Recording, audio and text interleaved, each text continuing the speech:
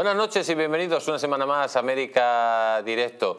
Hoy, como siempre, tenemos un programa muy especial donde pues miraremos la actualidad que recorre todo Hispanoamérica y también los Estados Unidos de América. Y con nosotros pues tenemos un invitado especial, con nosotros está el señor don Gabriel eh, Araujo. Buenas noches, don Gabriel, ¿cómo está usted? Buenas noches, Jesús. Muchas gracias por la invitación. Un placer. Encantado de tenerle. Y como siempre vamos a empezar rápido, porque atención que muchas veces no nos damos cuenta que el marxismo se va introduciendo en nuestra vida y va tomando forma a través de la guerra cultural. Y la guerra cultural empieza por el lenguaje. Y tenemos un líder, un líder eh, liberal, anárquico, anarco-liberal, que ha dicho que se acabó el lenguaje inclusivo. Mire lo que dice la noticia. Mi ley prohíbe el lenguaje inclusivo en las Fuerzas Armadas de Argentina y exige ajustarse a la Real Academia de la Lengua Española. Efectivamente. Todos estos anormales que dicen eh, bienvenidos todos y todas, eso es una falta de ortografía gramatical eh, de perogrullo. ¿vale?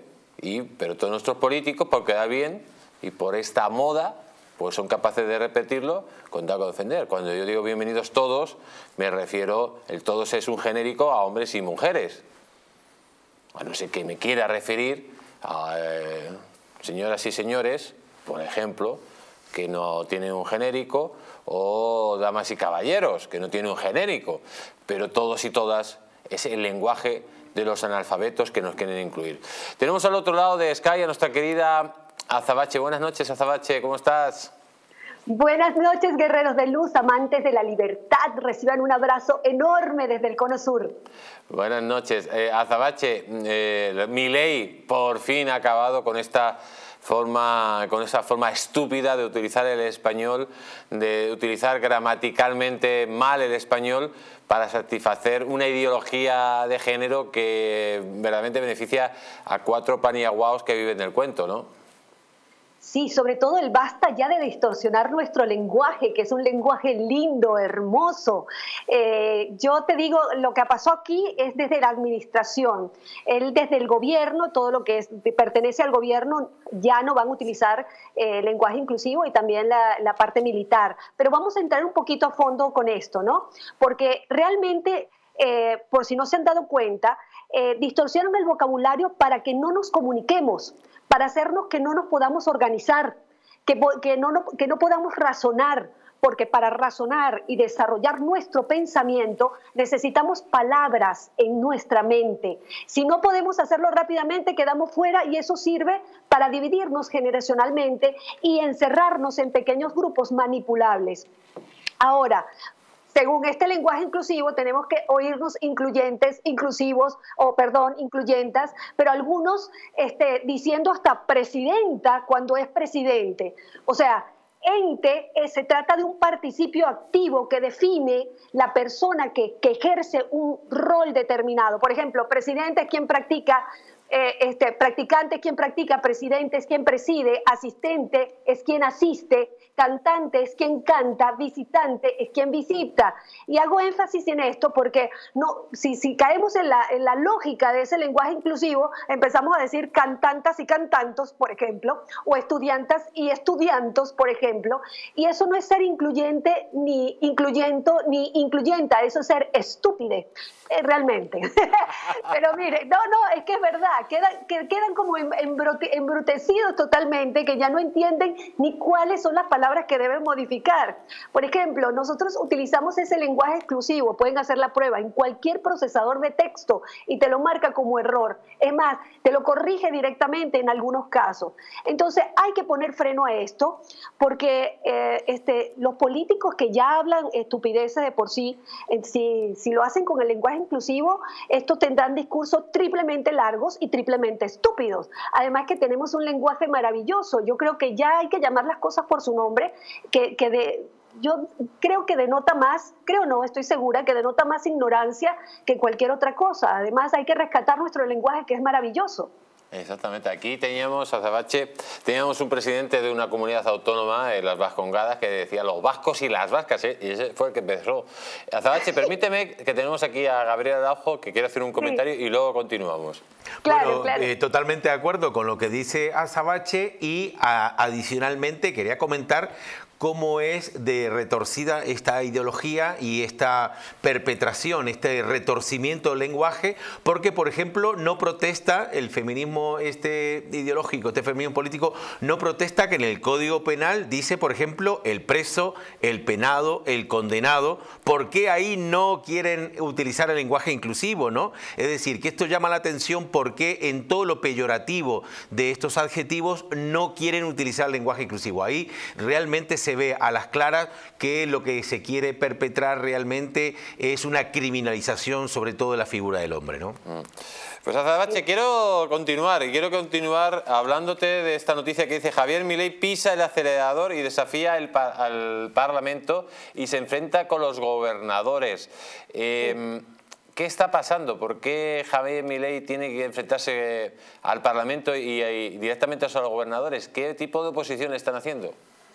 Bueno, mira, realmente lo que está pasando acá es que mi ley se está enfrentando a todo el mundo, a todo lo que es cajas políticas. ¿Te acuerdas que hablamos la vez pasada que, Argentina es un país federal? Al ser un país federal, todo lo que es salud, educación, le pertenece a, cada provincia. Cada provincia se tiene que hacer cargo de esos recursos. Y la nación tiene que hacerse también de, cargo de los recursos que necesita para, para, que el país salga adelante. De hecho, Milei desde el principio dijo que iba a recortar desde campaña y eso es lo que está haciendo para poder rescatar la economía del país. Fíjate que en Nación él tiene que recortar 15 puntos del PBI y la provincia, todas juntas, este, no llegan ni a un punto. O sea, es, una locura, pero esta gente, como está acostumbrada a, esos privilegios, eh, saltan porque ya los privilegios se le acabaron y realmente lo que está haciendo mi ley es acabar con todos los privilegios, las cajas oscuras de corrupción que se hacen en cada provincia. Y los gobernadores lamentablemente están quedando muy en evidencia porque hoy el gran poder es el, poder de la comunicación. Entonces, cuando mi ley señala a un gobernador y el otro gobernador se le revela y hace viste, mucho, mucha, mucha, mucho ruido comunicacional, este, queda expuesto como es alguien que está defendiendo sus privilegios y esa caja oscura eh, cajas, porque son muchas en, la, parte de las provincias, y no pensando en, el bienestar de los ciudadanos. Ahí salen recursos enviados para festivales y cosas para ellos mismos, para ese poder de la provincia y no para la salud, la educación y las cosas que realmente le interesan al ciudadano. Y estamos viendo un gran enfrentamiento entre los gobernadores eh, y ley, pero mi ley sigue firme. Muchos lo acusan de inconstitucional, cosa que es totalmente mentira y aprovecho la, posibilidad para aclararlo.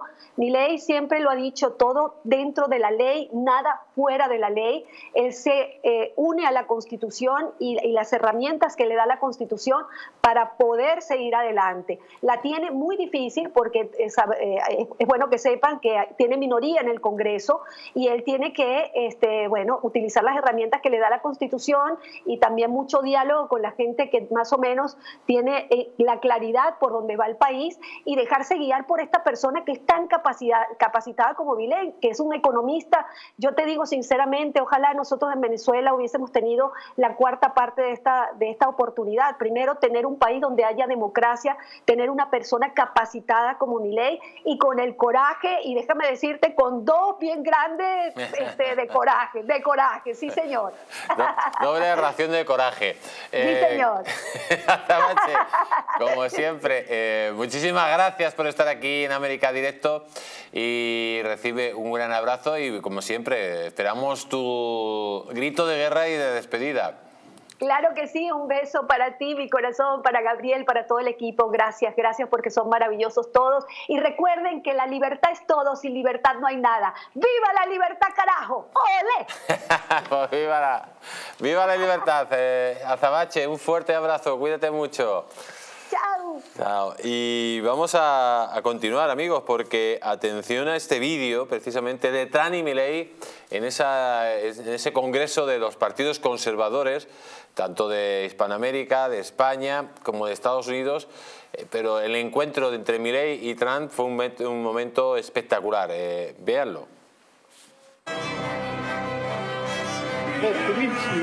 véanlo. Thank you. MAGA. Make Argentina great again. Come on, let's have some pictures. Come on.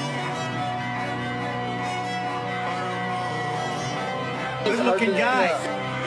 Make Argentina great again. ¡Viva la libertad, carajo! see you again. Okay, we'll see you.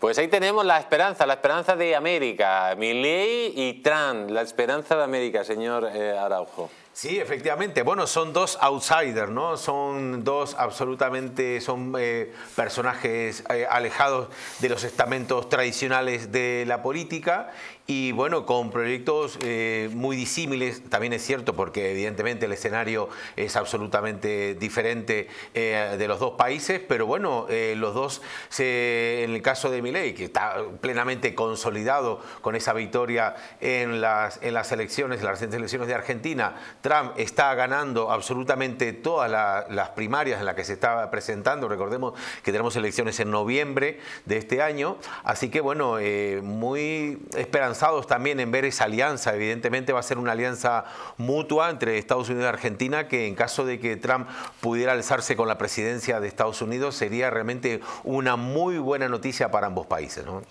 Pues vamos a continuar porque atención que a Trump van a por él directamente y la noticia es un poco escalofriante. Dice, el hijo mayor de Donald Trump recibe una carta con un polvo blanco en su casa de Florida. El hijo primogénito y homónimo del expresidente de Estados Unidos, Donald Trump, recibió y abrió en su casa de Florida una carta que contenía un polvo blanco del que aún se desconoce exactamente su naturaleza. Informaron este martes medios locales citando a fuertes cercanas a la familia.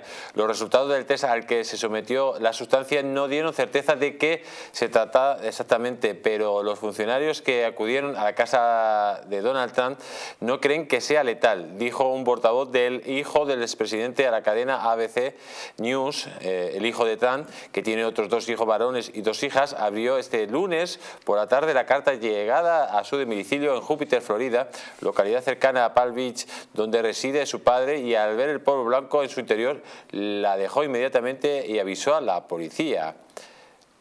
Y dicen que los primeros análisis no son concluyentes, señor Araujo. Claro, eh, bueno, efectivamente, no son concluyentes, no sabemos lo que es, pero el gran problema es que esas personas tienen la capacidad de hacer llegar esas sustancias hasta el, primogénito del, presidente, que por cierto es homónimo, ¿no? Se llama también Donald Trump. Así que esto es lo preocupante. Y lo otro, lo otro preocupante, don Jesús, es que es la segunda vez que le llega. Es la segunda vez. Es decir, que tienen esa capacidad de poder hacer llegar eh, esas sustancias y, y por ende el perpetrar ese miedo, ¿no? Ese miedo de esa capacidad que ni más ni menos yo lo tengo, realmente lo considero un acto realmente terrorista, ¿verdad? Porque esto es infundir terror en las personas, de hacer llegar una sustancia desconocida a ni más ni menos que al, que al hijo del, candidato presidencial. Y además, no la primera vez, porque aquí ya en su momento vimos que en Mar-a-Lago hubo un intento de asesinato de Donald Trump, Estamos viendo cómo el, Estado profundo está intentando que Donald Trump ni siquiera pueda presentarse a las elecciones eh, con jueces comprados por Soros, por el Partido Demócrata, etcétera, etcétera, hasta el punto que la información que llega aquí parece que Donald Trump está perdido en un en un pantano judicial cuando lo que son, son tramas judiciales, eso sí que es lawfare, precisamente del de, eh, Partido Demócrata y del señor Soros. Lo que pasa es que Donald Trump está, acaba de ganar en Missouri, ha, ganado en Michigan también esas primarias y hay precisamente, apuntando a lo que estaba comentando usted, la Fiscalía en Estados Unidos quiere eh, obligarle a esa ley del silencio, que él no pueda decir absolutamente nada para no influenciar en ese jurado. ¿no? Eh, es decir, como usted dice, ¿no? todo apunta que realmente eh, Donald Trump mm, eh, va a ser el candidato en noviembre y además el candidato republicano y además con serias posibilidades realmente de volver a ganar y, parecería que se están ahí alineando todas esas fuerzas estado profundo que usted comentaba para que eso realmente no tenga lugar. Em, voy a leer una noticia porque dice que Van, Biden y Trump ganan con solvencia en Michigan unas primarias marcadas por el voto de protesta. Las predecibles y contundentes victorias de Joseph Biden, con un 81,4% de los votos, y Donald Trump, con un 68,1% de los votos en la primaria de Michigan, no estaban en cuestión esta noche. Toda la atención estaba puesta en las debilidades de los dos claros favoritos en ese estado clave de Medio Oeste, eh, que votó a Barack Obama en el 2008 y el 2012 y que giró a Trump en el 2016 y volvió a votar demócrata de la forma que votó en el 2020, con una ajustada victoria de Biden por un margen de 2,78% de los votos después de la llegada masiva de que se fueran las luces y la llegada masiva de voto por correo. El Estado con mayor número y porcentaje de votantes árabes y jóvenes en el país, los dos grupos más contrarios a la ofensiva de Israel en Gaza, ha puesto esta noche el primer gran termómetro electoral al rol de la Casa Blanca en Oriente Medio. Grupos de votantes progresistas y de origen árabe han organizado en las últimas semanas un voto de protesta contra Biden, llamando a votar no declarado o voto en blanco en las primarias de Michigan. Se habían marcado el objetivo de llegar al 10%, cifra que han superado con un 12,7% del electorado. En total, alrededor de 75.000 votos, la mitad del margen de 150.000 con el que Biden se impuso a Trump en 2020 en este estado. En la vigilancia de la votación, Biden anunció el lunes que las negociaciones para un alto el fuego prolongado en Gaza estaban cerca de alcanzar un acuerdo y transmitió su esperanza de que llegue el próximo lunes, pero no ha podido frenar el voto de castigo de los sectores pro-palestinos descontentos con el apoyo del mandatario al primer ministro israelí, el señor Benjamín Netanyahu, desde que escaló el conflicto el 7 de octubre. Pues en definitiva, amigos, yo no sé, ¿se va a presentar Biden? O sea, ¿se va a presentar Biden en la situación de demencia senil que está este señor? Porque es que podríamos hablar de lo que Biden, y no quiero hacer sangre, con un alto mandatario, primeros ministros, ha llegado a hacer ha llegado a hacerse sus necesidades delante de un alto mandatario. Es que mm, yo no sé, el Partido Demócrata sí eh, pretende, dicen que pretende esperar hasta, hasta agosto que se presente Biden para que así no haya primarias y puedan elegir el candidato. Eh, lógicamente Biden no puede seguir de presidente porque es, es algo que, no puede aguantar la primera potencia mundial. Ahora mismo Biden no gobierna, no sabe ni, quién es y está más bien para llevarle una residencia, con todos mis respetos, porque eh, no quiero hacer sangre yo de Biden eh, siempre le he llamado la momia, etcétera, pero en esta situación a mí una persona así no quiero hacer sangre. Creo que están aprovechándose de este señor, ¿no? Sí, es un secreto a voces. De hecho, hasta la televisión pública italiana eh, hizo este fin de semana un sketch eh, mostrando a Biden chocheando, saliéndose del, del pupitre, en fin. y era, realmente fue sorprendente esto que la televisión pública italiana, ¿no? Con la que tiene además que, como digo, con Estados Unidos esos lazos tan estrechos, ¿no? es un secreto a voces y bueno, aquí estamos evidentemente, eh, defendemos a las personas en plena capacidad, tengan la edad que tengan, pero es lo que usted dice, cuando llega un momento que es ostensible esta, esta falta de, facultades, ¿no? que no, no, no está en plenas facultades, pues bueno... te da cosa hasta criticarle, porque lógicamente no está en, su plena, en su plena conciencia. Bueno, desde el punto de vista estrictamente político, yo me alegro que fuera el presidente porque realmente lo que quiero realmente es que no repita la administración Biden, porque realmente ha sido un desastre, no solamente lo que ha, sido a nivel internacional con ese recrudecimiento de conflictos o incluso apareciendo conflictos que no había.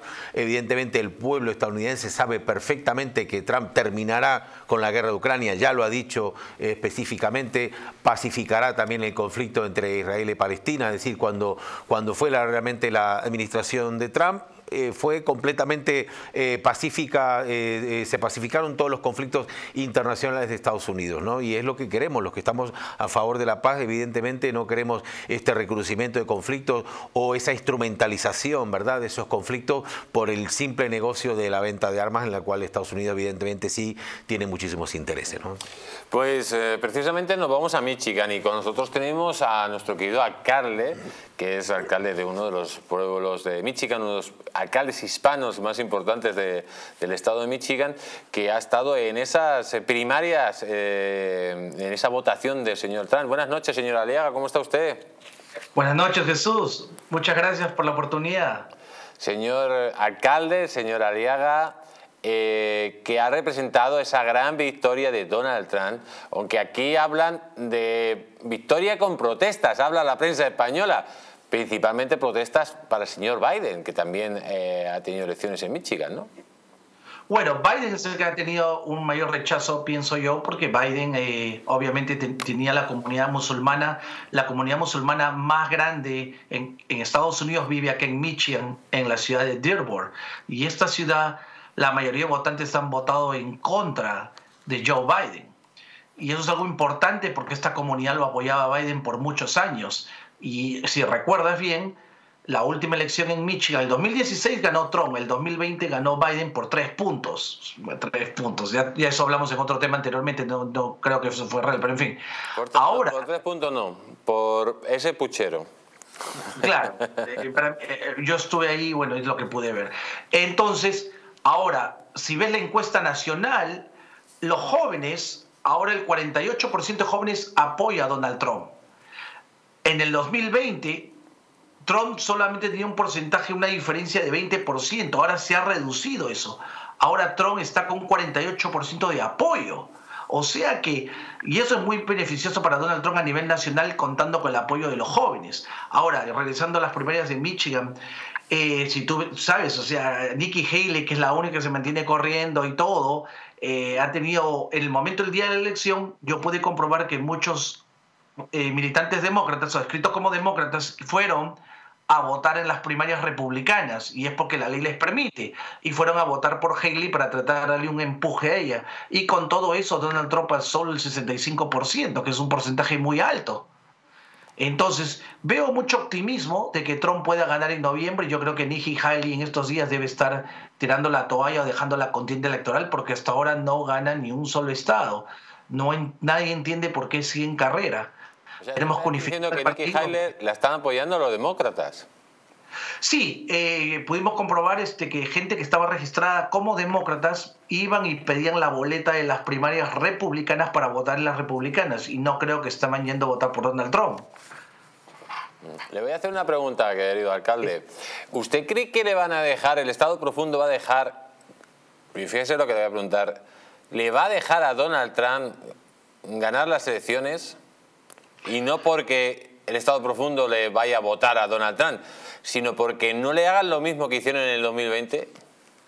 Va a ser muy difícil, yo concuerdo contigo, van a poner mucho dinero gente como Zuckerberg o gente como Bezos y Bill Gates y todo este grupo muy fuerte, van a intentar de hacer lo imposible para que Trump no gane, pero eh, tienes que entender también que el pueblo es el que vota al final y la, economía no anda bien. Cuando Trump estaba en la gasolina, estaba por menos de 2 dólares.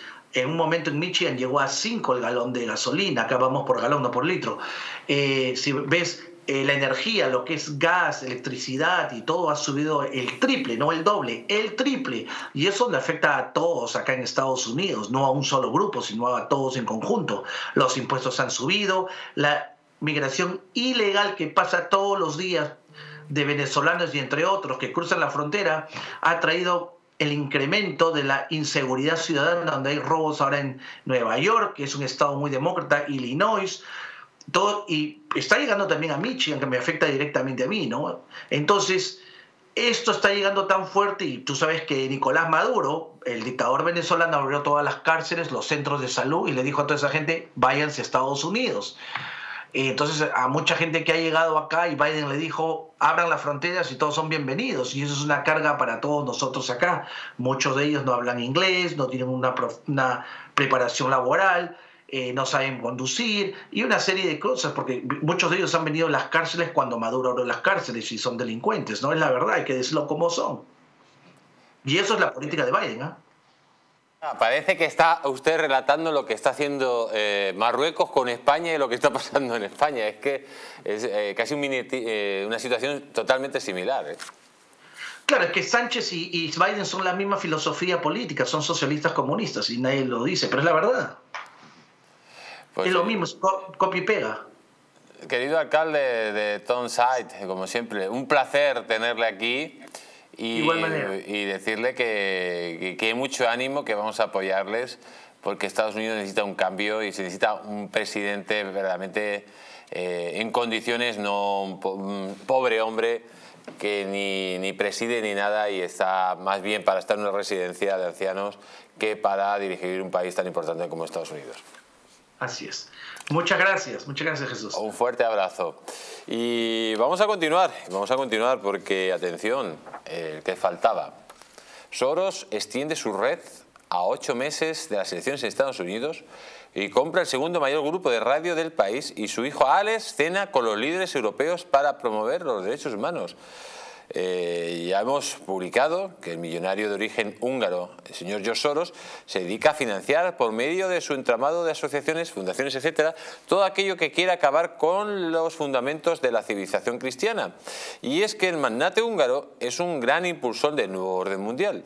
Ese conjunto de instituciones internacionales que quieren implantar en todo el mundo normas contrarias a la ley natural, como el aborto, la ideología de género, una de las derivas es el matrimonio homosexual o transexualismo, etcétera. Por lo que Soros es consciente de que debe financiar todo lo que esté en su mano para imponer su ideología.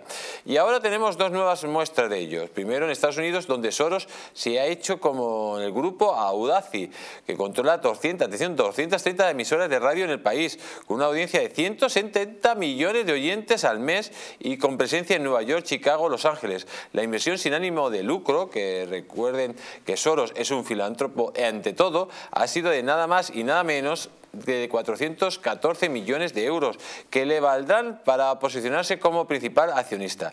Estamos hablando del segundo grupo de radiodifusión y podcasting del país, el cual pasa a ser propiedad de Soros a pocos meses de las elecciones presidenciales. Movimiento que imita al que hizo en Florida comprando Latino Media Network, una nueva red que estará compuesta por 18 estaciones de radio hispanas en 10 mercados diferentes y que permitirá acceso a un tercio de la población hispana dentro de los Estados Unidos. Ahí tenemos. Luego dicen que es que no existe Soros, ¿no? claro que existe. Señora Araujo, o sea, ¿cómo van comprando los medios de comunicación, como hacen aquí en España exactamente, cómo lo van comprando, cómo van metiendo su relato, un relato mentiroso, falso, traicionero, que, eh, que confunde a la población y que les lleva por el camino directamente del barranco. Y no es de ahora, es la, gran estafa de la filantropía y sobre todo la filantropía norteamericana.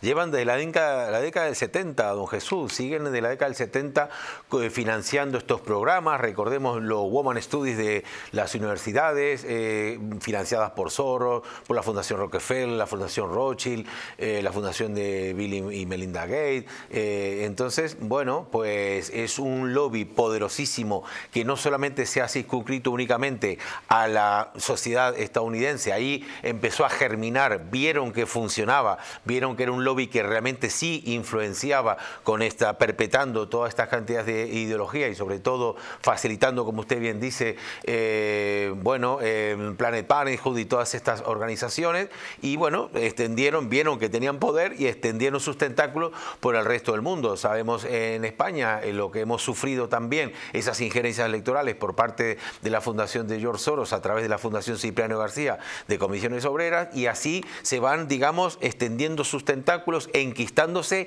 en cada país, porque están en todos los países, están en Brasil, están en, Argentina, están en Chile, están en toda Latinoamérica también enquistados a través de esos tentáculos, de esas, em, de, esas ramificaciones que tienen, ¿no? A través de una ingeniería financiera realmente muy, muy elaborada, porque es gente que realmente tiene muchísima capacidad, muchísima capacidad económica financiera y son gente realmente que sabe muchísimo de esto, ¿no?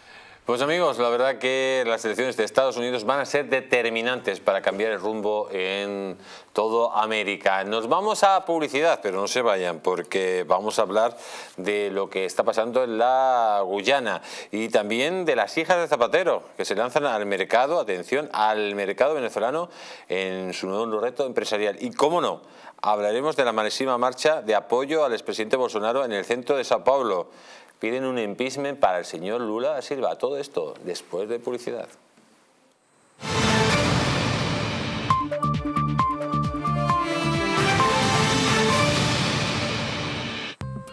¿Quieres proteger tu sistema inmunitario de la gripe, COVID y otras enfermedades? Inmunad Z es un complemento elaborado con zinc y base de vitaminas C1, B6 y D3 que permiten aumentar las defensas y mejorar las respuestas del sistema inmunitario. Además, posee antioxidantes que reducen el envejecimiento y mejoran el estado de ánimo. Con Inmunad Z, las defensas al poder. Acércate a tu tienda más cercana o visita la web naturhaus.es. ¿Una noche larga de fiesta con los amigos? ¿Has terminado cansado y con una copa de más? Ahora en exclusiva en Naturhaus, Staff Detox. El remedio que acaba con esas resacas eternas del día siguiente. Acércate a tu tienda más cercana o visita naturhaus.es. ¿Por qué llevar un cinturón tiene que ser algo incómodo? Al fin hay uno que se adapta siempre a nuestras necesidades. Les presentamos Shua Fit, el cinturón perfecto para cada ocasión. Diseñado especialmente para que los pantalones nunca queden demasiado sueltos o demasiado ajustados. Con Shua Fit no importará la talla porque tiene la medida exacta para usted. Shua Fit es un cinturón muy elegante que podrá usar con cualquier tipo de pantalón, equipado con un preciso sistema de sujeción ajustable y de rápida liberación. Así podrá apretarlo o aflojarlo según necesite para sentirse cómodo a cualquier hora del día. Fabricado con cuero de máxima calidad y una hebilla de metal reforzado, Fit se adapta a cualquier estilo para que siempre esté impecable. Deje de estropear los cinturones nuevos abriéndole agujeros adicionales y que nunca nos hacen sentir tan cómodos como nos gustaría. Además, los cinturones convencionales se acaban gastando y perdiendo su forma de tanto abrocharlos. Como Fit no tiene agujeros, ni se afloja ni pierde su forma. Ya no tendrá que preocuparse por si gana o pierde peso, porque Fit es el cinturón que se adapta a usted. Por eso, en cuanto lo pruebe, será el único que querrá utilizar. Apto para cinturas que van de los 70 a los 120 centímetros, por lo que prácticamente cualquiera puede usarlo. Y lo mejor de todo, Fit es reversible para que pueda combinarlo fácilmente con cualquier estilo, manteniendo la elegancia cuando lo acompaña con un traje y la resistencia cuando lo usa mientras trabaja. No vuelva a sufrir porque le aprieta el cinturón cuando se sienta. Fit se ajusta fácilmente y le permite mantenerse cómodo durante todo el día. Un cinturón de cuero convencional puede llegar a costarle hasta 100 euros, pero si llama ahora podrá hacerse con su Fit por el increíble precio que aparece en la pantalla de su televisión. Pero espere, si se da prisa en llamar y es de las primeras 300 personas en hacer su pedido, podrá comprar este magnífico cinturón ahorrándose 10 euros respecto a su precio original. Así que no pierda más tiempo y haga cuanto antes su pedido. Llame ya.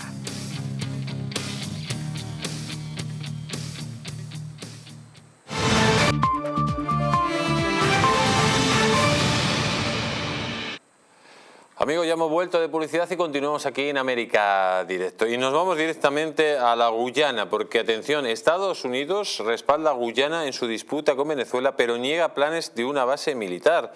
La embajadora de Estados Unidos ante las Naciones Unidas, Linda Thomas eh, Greenfield, reiteró el pasado lunes su respaldo a la integridad territorial de Guyana y a su actual frontera con Venezuela, pero negó que haya planes de establecer una base militar de los Estados Unidos en el país. La frontera fue trazada mediante el laudo arbitral de 1899, pero Caracas rechaza su validez y tampoco reconoce que la Corte Internacional de Justicia pueda dirimir sobre la controversia relacionada con la región de Esequibo, que es amistada por Guyana, pero reclamada por Venezuela. Al respecto, Thomas Greenfield dijo que Estados Unidos ha apoyado a la CIT a tomar esta iniciativa y que la frontera actual es válida, al menos hasta que otra autoridad tome una decisión de que no es aceptable.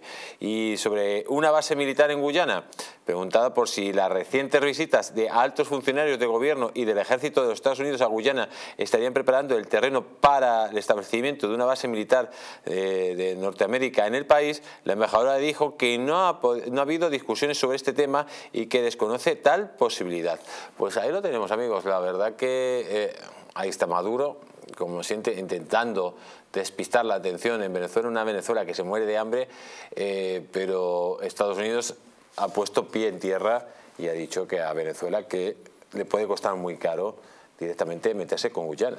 Claro, porque además Guyana es miembro del Consejo de Seguridad de la ONU, ¿no? Y ahí realmente, eh, don Jesús, no hay un interés militar, hay un interés petrolífera. Esa región de Esequibo eh, tiene una reserva de petróleo importantísima, eh, parte de ella incluso en, el mar, ¿verdad? Pero bueno, eh, dificulta también la, extracción de petróleo. Llama la atención que Maduro realmente esté peleando por esa, por esa región. Yo creo que más bien es a nivel de maniobra de distracción, por un tema nacionalismo, cuando realmente la semana pasada se ha descubierto que toda la cuenca del Orinoco es la mayor reserva mundial de petróleo ahí. O sea, eh, tiene más petróleo ahora mismo Venezuela en ese delta del Orinoco, además un sitio que yo conozco muy bien, la región de Ayacucho. Es el país con mayor reserva de petróleo del mundo. Sí, sí, sí, por supuesto, pero ese petróleo que se ha visto que es realmente muy fácil de extraer, está muy al alcance. Eh, usted sabe que realmente el petróleo realmente puede ser eh, un negocio no según la dificultad. Por ejemplo, en Canarias se ha tenido que desestimar porque, porque la dificultad de extraer ese, ese yacimiento que se ha descubierto frente a las costas canarias. En este caso no, en este caso está muy cerca de la superficie, es una zona además eh, de fácil acceso, ¿no? En la parte justamente central de Venezuela y es una zona además que yo conozco bien que digo que es una, maravilla. Por tanto, esto realmente de Guyana eh, lo que es realmente es una maniobra de extracción, es una especie de exacerbación nacionalista por parte de, de Maduro por fines electorales. Recordemos que nos faltan muy poquitos meses para las elecciones de Venezuela, ¿no? Pues vamos a continuar porque atención que Maduro, Nicolás Maduro, al rebufo electoral de la inhabilitada María Corina Machado. A falta de pueblo, propaganda. Nicolás Maduro intenta mitigar el abrumador apoyo popular que la candidata opositora María Corina Machado recibe en cada uno de sus viajes a la Venezuela profunda con múltiples apariciones en todas las plataformas posibles, para lo que se construyen escenarios que ni en la cinecita romana. Puro amor del pueblo heroico de Anzotegui, con un derroche de alegría que me recibieron en la redoma los pájaros de Barcelona. Gracias por su fuerza y espíritu invencible. Eso me motiva para seguir trabajando por lo nuestro y por el bienestar de nuestra hermosa tierra, ha exclamado el hijo de Chávez, tras saludar a diestra y siniestra a los presentes, algunos de los cuales le entregaron sobres competiciones un clásico de la política venezolana. Hace una semana hubo una escena muy parecida en Ampure, zona llanera al oeste del país. Esto es lo que duele a la derecha, ver al pueblo unido, pontificó el mandamás boliviano atraviado con un sombrero de paja al mandatario eufórico, recibió el calor amplificado digitalmente de un pueblo que en realidad es muy reducido. Pues en definitiva, amigos, aquí eh, la señora doña María Corina Machado, que tiene el apoyo, si hubiera elecciones legales, tendría, señora Araujo, ganaría las elecciones. Pero claro, es que estamos hablando de una narcodictadura sangrienta, criminal, genocida, como la de Venezuela, como la de los comunistas, que han inhabilitado a María Corina Machado porque María Corina es la esperanza precisamente para acabar con el genocidio que hace Maduro contra su pueblo. Y como la señora Corina Machado ha sido detenida y estaba, digamos, como sucesora Rocío San Miguel, que es una activista que también ha sido detenida la semana pasada. Rocío San Miguel, que por cierto hay que apoyar a esos venezolanos que están en Madrid haciendo la vigilia en favor de Rocío San Miguel, eh, pidiendo eh, su liberación inmediata. Y es una activista que desde 2005 está luchando muy firmemente por los derechos humanos en Venezuela, que también además ha tenido incluso la resolución favorable de la Corte Interamericana de Derechos Humanos, porque es una activista que denunció a Maduro precisamente por eh, ver sus derechos políticos recortados y le dio la razón la Corte Interamericana de Derechos Humanos. Así que luego nos dicen, claro, que en Venezuela hay democracia porque hay elecciones, pero lo que hace Maduro es realmente eliminar cualquier tipo de competencia al estilo que ha hecho también Cuba durante tantas décadas, ¿no? Pues vamos a seguir, porque si éramos pocos, parió la abuela. Miren, dice, las hijas de Zapatero, atención, se lanzan al mercado venezolano en su nuevo reto empresarial. Estamos hablando de que las hijas del señor Zapatero, que es el embajador de la narcodictadura, se van directamente a hacer negocios a Venezuela. Una Venezuela arrasada por el marxismo, destruida por el comunismo y protegida exteriormente por su padre. En definitiva, esto es un escándalo, ver a, las dos hijas de este señor, que por cierto dicen que tienen una mina de oro, lo confirman toda la, toda la oposición venezolana, que ha hecho negocios allí increíbles, que se ha convertido directamente en el embajador del mal, el embajador del genocidio de Venezuela completamente. Además, eh, eh, utilizan, digamos, esa misma táctica siempre, ¿no? Las hijas de Zapatero, eh, no solamente en Venezuela, Jesús, ellos, ellas también han, em, bueno, cerrado una serie de contratos con diversos medios de comunicación a través de esa trama de los game sport, ¿no? Ese tipo de negocio un poco vende humo, ¿verdad?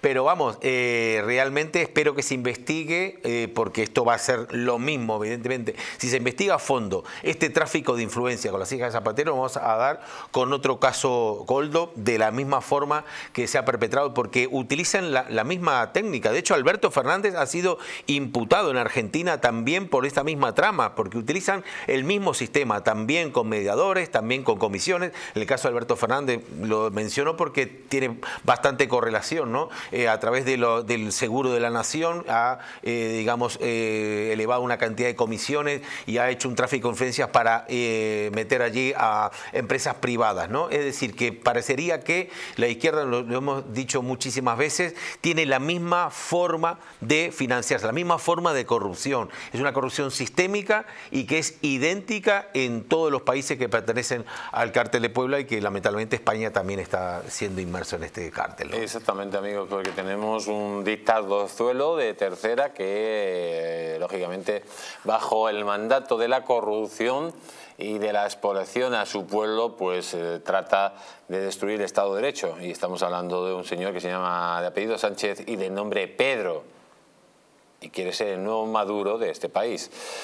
Pero atención, que la situación en Hispanoamérica, pues es verdad que mi ley está haciendo un cambio muy grande, pero es muy peligrosa. Y muy peligrosa concretamente en México. Atención ese presidente chapucero, degenerado, el cual, según algunas informaciones, hablan de que ha sido financiado por el narco, que pone en la diana directamente a los periodistas. 46 periodistas asesinados en México. 156.000 personas asesinadas en México bajo su mandato. ¿Y qué es lo que hace este tipo? Cuando un periodista directamente le acusa de haber tenido financiación del cártel de Sinaloa, pues directamente los manda a los narcos un mensaje. Nombre, apellido, teléfono, para señalarlos. Y hay dos opciones, o le amenazan al periodista o lo matan. Viene esta noticia, la guerra de los teléfonos en México. Allo revela el número de una periodista y el de su hijo salen redes. Atención esta bestia parda. Dice, el enésimo enfrentamiento de Andrés Manuel López Obrador con la prensa ha desatado una guerra de filtraciones de número de teléfonos en México, entre los que se incluye el de la candidata presidencial Claudia Sheinbaum, la opositora Chonchi Gálvez y otros miembros del actual Ejecutivo. La polémica surgió después de que el periódico The New York Times publicara un artículo titulado Estados Unidos examinó acusaciones de vínculos de cárteles con aliados del presidente de México, en el que profundiza una investigación de la DEA, la Agencia Antidrogas de los Estados Unidos, en contra de ALLO y funcionarios de su cúpula por presuntos vínculos con líderes de grupos de crimen organizado. Mira, mira la cara de, estúpido que tiene este tipo, que es más malo que la quina. Claro, con lo que decía a los narcos, a los narcos, nada de balazo, abrazos. Y claro, si alguien le saca alguna información, yo le escuché las declaraciones, que es, un miserable, es un miserable en todo tipo. Porque decía, si usted dice cosas que son mentiras, yo cojo y publico toda la información. Claro, publica la información para que el narco vaya por el periodista. O lo mate o se calle. Claro, si usted, usted, un periodista, publica la información y usted cree que es mentira, como presidente y persona que respeta el Estado de Derecho, que este hombre no sabe ni lo que es el Estado de Derecho, tendrá que ir a un, tribunal y que el tribunal diga si, si le han difamado o no.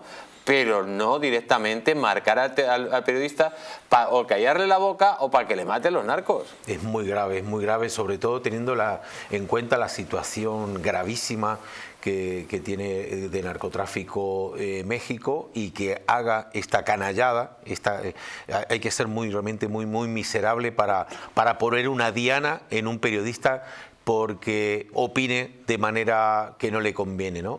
Realmente es gravísimo, esto realmente es, creo que óbice para, para, que este, para que este señor realmente se siente en un banquillo y tenga que responder, porque esto es muy grave, es una revelación de, secretos, ¿no? esto del Código Penal, también el Código Penal mexicano viene específicamente expuesto, es una, un delito de revelación de, de secretos, de datos personales, y además el de su hijo, es decir, está hecho con toda la mala baba, con toda la mala leche posible, no solamente revelar eh, los datos personales del periodista, sino también de su hijo, para que vayan a por su hijo, para que extorsionen, para que se lo secuestren, con el grave problema de seguridad que tiene México precisamente por culpa de dirigentes y de políticos sinvergüenzas como este señor, que lo que hace únicamente es eh, difundir e instaurar la violencia del, narco y en este caso agregada con la violencia del Estado. Esto es realmente gravísimo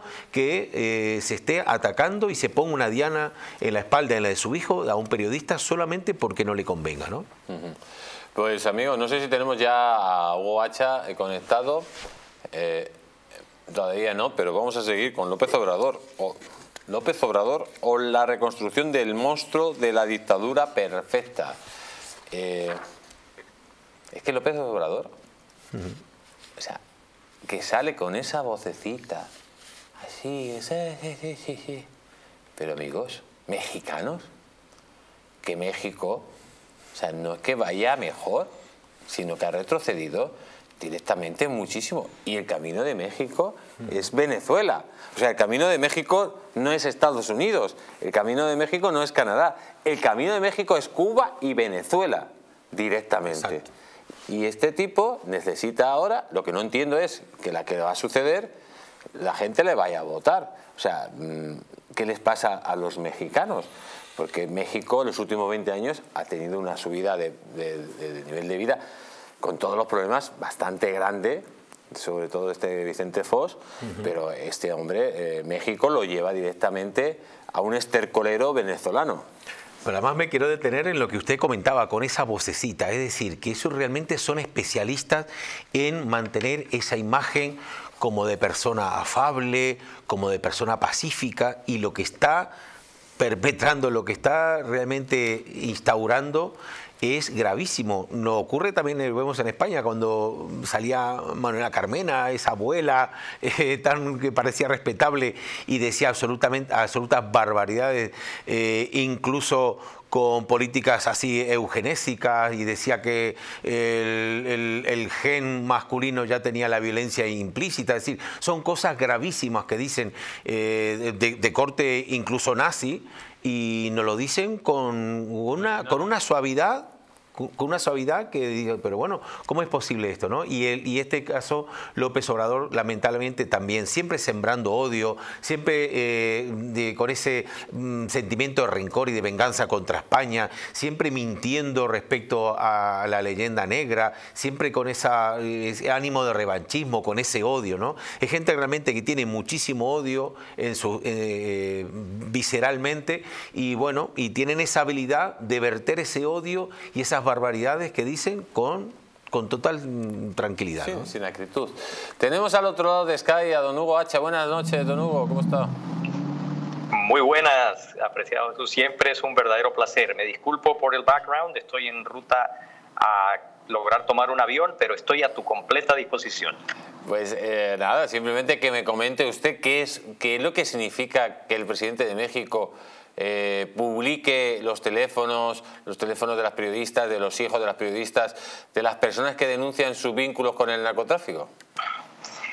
Pues eh, primero dos aspectos terriblemente complejos desde la perspectiva legal. Ni siquiera voy a ir a lo ético porque creo que eso se cae de maduro.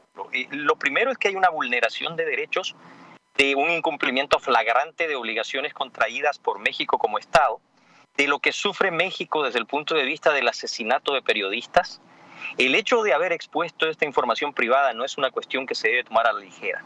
Pero el segundo aspecto, que es aún más grave, es pretender establecer el concepto de que se está más allá de la ley.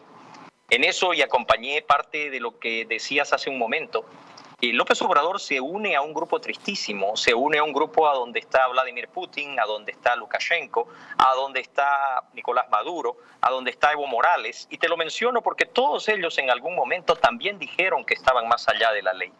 Creo que desde el punto de vista de la democracia mexicana, desde el punto de vista de México y su futuro como un Estado de Derecho, lo que ha sucedido no puede ser tomado a la ligera porque esta idea de que eh, si calumnian, entonces nosotros calumniamos. No es lo que se supone que debe partir desde un Estado serio, desde un gobierno serio y a partir de un Estado de Derecho. Eh, estamos hablando de México, que es el monstruo de la dictadura perfecta. Lamentablemente, eh, apreciado Jesús, si tú eres un estudioso de la historia, México ha tenido varias tentaciones y coqueteos con el totalitarismo. Y los ha podido superar a lo largo de su historia, aunque en algunas oportunidades le costó sangre, sangre por una de las revoluciones más violentas y convulsas de la historia de este hemisferio, sangre a partir de una situación que a partir de la fragilidad del Estado generada por estos conflictos, le entregó buena parte de su territorio al crimen transnacional organizado y que ha conseguido mantener un cierto nivel de institucionalidad. Cuando el propio presidente de los Estados Unidos mexicanos se encarga de minar esa institucionalidad, el precio no se paga en función de la próxima elección, el precio se paga en función de la seguridad, de la tranquilidad, del derecho de millones de mexicanos y de los hijos de estos mexicanos y el futuro de México. Eh, por eso creo yo de que se tienen que analizar estos aspectos. Te doy un solo ejemplo. México es parte del Tratado de Libre Comercio USMCA entre Canadá, México y los Estados Unidos. Y sin embargo, a sabiendas de que existe una cláusula específica que prohíbe a cualquiera de las partes involucrarse en lo que se denomina trata y tráfico de personas, explotación laboral y tratamiento análogo a esclavitud, mientras tú y yo hablamos hoy, existen aproximadamente 1.600 médicos cubanos, la mayor parte de ellos en el estado de Nayarit, en condiciones de semi-esclavitud definida por el informe de trata y tráfico de personas del Departamento de Estado norteamericano. Vale la pena preguntarse, ahora más allá de lo principista, ¿Es responsable un presidente que coloca en riesgo una balanza comercial de intercambio positivo de 333 billones de dólares para que a través de una violación de derechos humanos le pueda enviar unos cuantos millones a sus compadres en La Habana?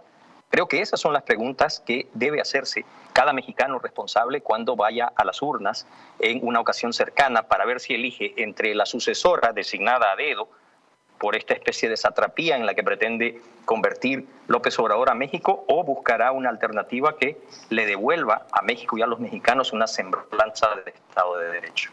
Pues señor Hugo Hacha, muchísimas gracias por estar con nosotros. Un fuerte abrazo. Un placer siempre. Y vamos a continuar muy rápido porque se nos acaba el tiempo eh, y hay que hablar de la masiva marcha de apoyo al expresidente Bolsonaro en el centro de Sao Paulo. Piden un impeachment a Lula. Eh, señor Gabriel Ojo, usted que es un especialista en esto, ¿por qué la gente pide un impeachment a Lula? Bueno, porque está viendo realmente muy perjudicada eh, su, modo de vida eh, desde la gestión de Lula da Silva. Recordemos además que desde el punto de vista en eh, lo concerniente al tema electoral, todavía la gente, aquellas personas que han votado a Bolsonaro en esas mesas y que luego el resultado salía cero votos, todavía sigue con esa espina clavada, evidentemente, y sobre todo por el amigo, la mano derecha de Lula da Silva, que es ni más ni menos que el presidente del Tribunal Superior Electoral, el señor Alexander de Moraes, que sigue con mano de hierro, casi como gobernando, siendo que es un juez, pues está gobernando, está abriendo expedientes, está criminalizando a todos los opositores, a cualquier persona que esté haciendo oposición o esté criticando el gobierno, le está eh, eh, mm, abriendo expedientes. Por tanto, eh, la gente, claro, ya hay un momento que dice basta, ¿no? Es decir, no, no es posible que estemos en esta situación, ¿no? Pues señor eh, Araujo, como siempre, un placer tenerla aquí en América Directo. Muchas gracias, buenas noches. Y a todos ustedes, amigos, eh, bueno, decirles que la próxima vez que nos vean, lógicamente no solo nos van a ver en España, sino también nos van a ver en toda Hispanoamérica a través de nuestra televisión hermana TV Libertad. Por lo tanto, América Directo ahora es más América Directo que nunca y también podrán ver diferentes programas de la cadena. Nos vemos la próxima semana y a todos los hermanos hispanoamericanos, pues que sepan que la próxima semana América Directo estará en todo el continente americano. Hasta la próxima semana.